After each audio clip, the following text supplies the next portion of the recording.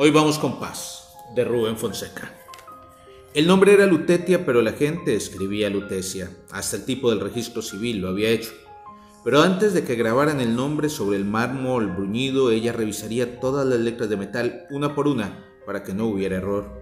Hay cosas que debes hacer por ti mismo para evitar equivocaciones. Por eso ella había tenido el cuidado de tomar todas las medidas necesarias. Era un buen lugar para pasear, lleno de alamedas arborizadas, vacías y calladas. Aquel día en una de ellas surgió un cortejo de personas que marchaban en silencio. Lutetia se alejó, no quería asistir a la inminente ceremonia. Las pompas que rodeaban aquella solemnidad, por más modestas y discretas que fueran, no le interesaban.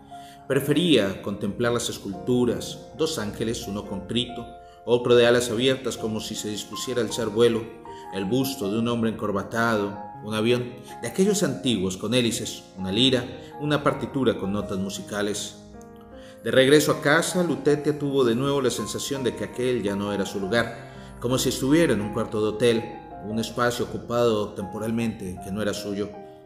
Las cortinas, los muebles, los cuadros, los objetos, la cama con la colcha, el armario de ropas eran cosas extrañas, desconocidas, que acuciaban su deseo de partir pero pensó en la balletista de bronce, en la balletista de bronce danzando con los brazos abiertos que había mandado esculpir para soldar sobre la bruñidez del mármol.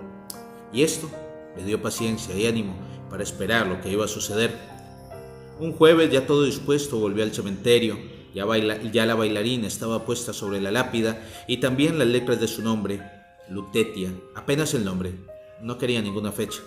Miró a su alrededor las sepulturas todas del mismo tamaño, diferenciadas solo por el color del mármol, estaban dispuestas en bella simetría a lo largo de la alameda.